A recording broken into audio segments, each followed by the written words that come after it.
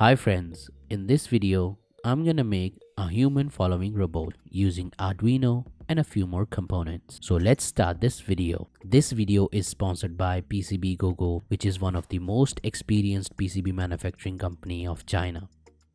First, I have designed the PCB layout and also generated the Gerber files. And go to PCBGoGo.com and click on Instant Quote and select all required parameters such as material, board type, PCB size, quantity, solder mask color, silkscreen color, and a few more options. Then I click on calculate and select my country and click on add to basket. After that, I have uploaded the Gerber files and click on submit PCB. After that, the order will be added to the shopping cart. Then I click on proceed and add my shipping address and select my desired shipping and payment method. After a few days, I have received the PCBs. So here are the PCBs. The PCB quality is flawless silk screen, solder mask, everything is perfect. If you haven't subscribed to my channel, then do subscribe and don't forget to press the bell icon so you can get notifications whenever I upload a new video. These are my other channels, do subscribe them as well. And you can also follow me on Facebook and Instagram. Component list, circuit diagram, everything is in the description below.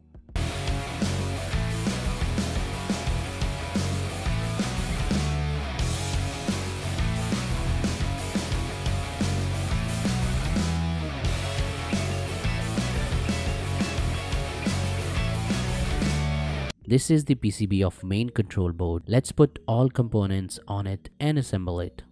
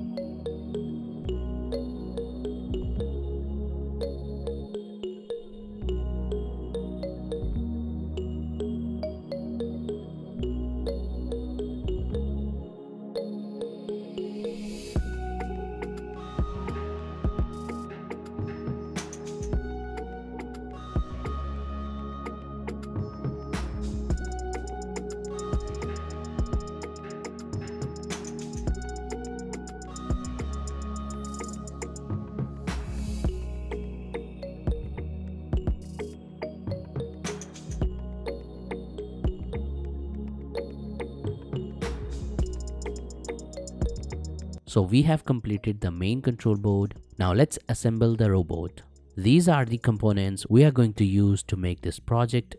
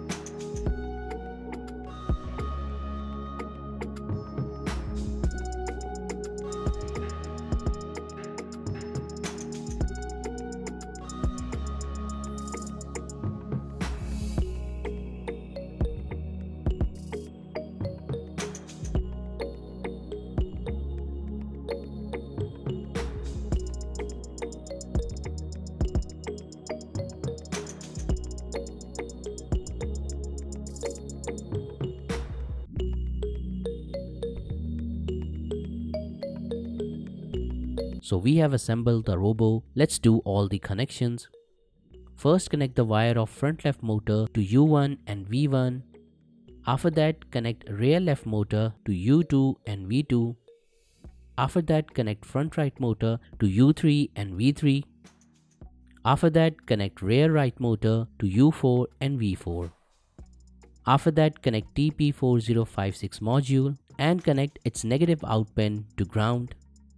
After that connect a lithium ion battery and connect its positive pin to B plus pin and its negative pin to B minus pin of TP4056 module.